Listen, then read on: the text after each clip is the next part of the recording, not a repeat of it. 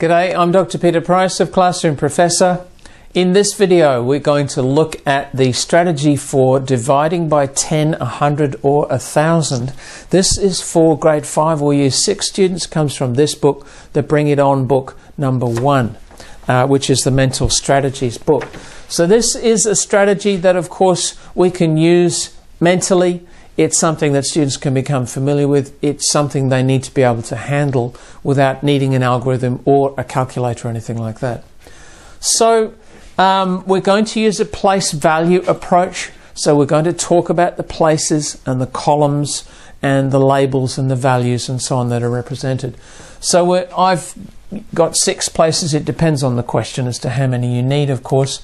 I'm going to suggest that you use lowercase uh, initials or, or abbreviations for the decimal places. It doesn't mean anything as such, but just to distinguish them from the whole numbers. And of course, we need our decimal points. So, as I've said in other videos, and you've perhaps heard me in other videos say this, we don't recommend that students move the decimal point or use that sort of language or use that sort of approach. Now we know that that's what it looks like. So let's take an example, say 64 divided by 10. What's that going to be? It's 6.4. It sort of looks like the decimal point, which was after the 4, has skipped over this way by one place. And that's the way I learned it at school, and I know that's what um, is happening in a lot of classrooms. But it's not it's not legitimate, it's not valid, it's not what's happening.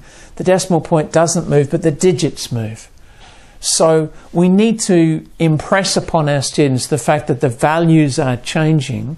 If we're dividing by 10, we're getting a tenth part, so every number in every column will move into the next column because that's one tenth of the size. And we can establish that with, you know, other methods, base 10 blocks and that sort of thing.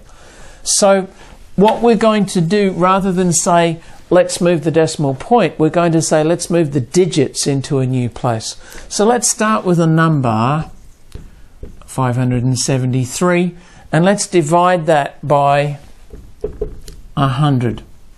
So we know we're going to move everything two places. We can establish that with our students through um, understanding what that means and the fact that 100 is like two places. So if we divide by 10, that's moving one place and so on.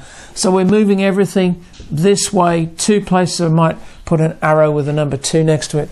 Move everything two places. The 5, of course, will end up in the ones place. The 7 will be in the tenths. And the 3 will be in the hundredths. Let's take another one. Uh, we'll start with a number with a decimal place, perhaps, so let's say 4.2.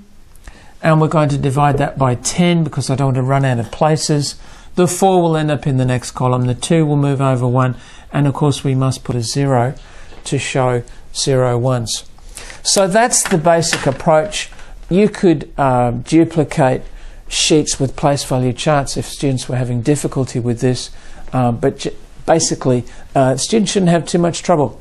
So I hope this video has been helpful and I'll talk to you next time.